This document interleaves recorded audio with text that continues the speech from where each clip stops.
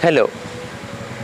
Welcome back to JDC Diabetes Gems video, June 2010 edition. Here we are going to feature CGM, that is continuous glucose monitoring. You may be wondering what this continuous glucose monitoring exactly is. Diabetes patients are used to monitoring their sugars at home with a glucometer.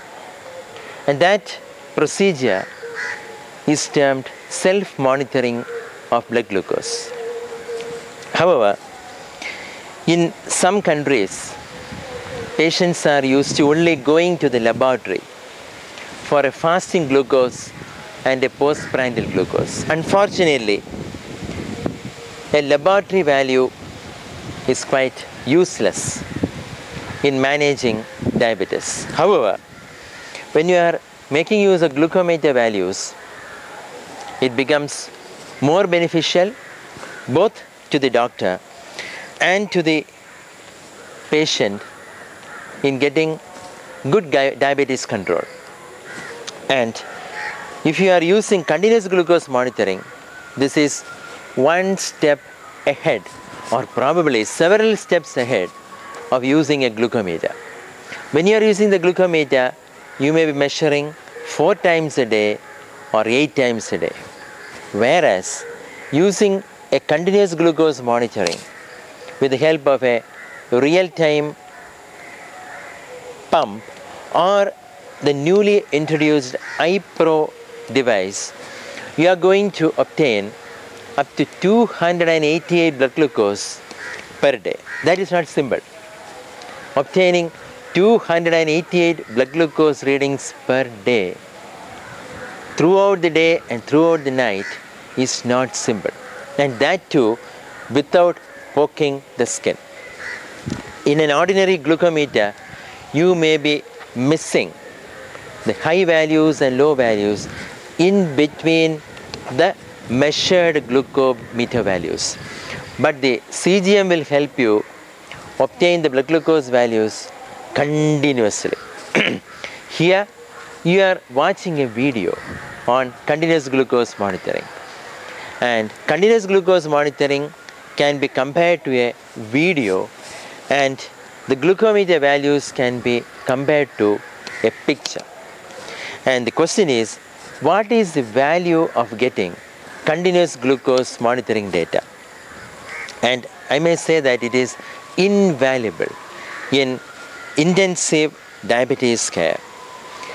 Apart from the real values obtained with the help of a continuous glucose monitoring data, the upward trend, the downward trend, the blood glucose pattern during the time the patient is sleeping, they are all immensely beneficial in fine tuning the management protocol, in titrating the dose of insulin, in deciding the dose of which all drugs to be given, etc., etc., etc. And moreover, the blood glucose excursions are now proven to be responsible for the blood vessel damage, ultimately resulting in heart attacks and strokes in diabetes patients.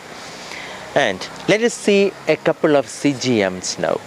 You see different colors for these lines, each one denoting a different day like Monday, Tuesday, Wednesday, etc.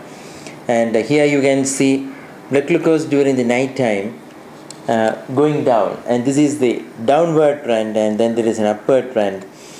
And again, this is a, a subject us- using a, a real time insulin pump device from Medtronic, where you see almost all the values between 70 and 140 milligram both during the time he is sleeping and during the time he is active during the day. Another subject where we have uh, done to uh, find out the, the glucose excursions during the period of pre-diabetes on how he can intervene with his exercise and where again there is a downward trend after 12 a.m. midnight and there is a visible hike in the blood glucose values, a hyperglycemic excursion, which is seen all throughout the three days when the CGM is being done.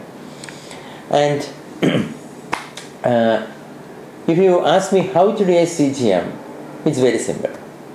The continuous glucose monitoring can be done with the help of simple equipments like iPro. Now we have the iPro 2, or we can use the real-time insulin pumps for doing the CGM.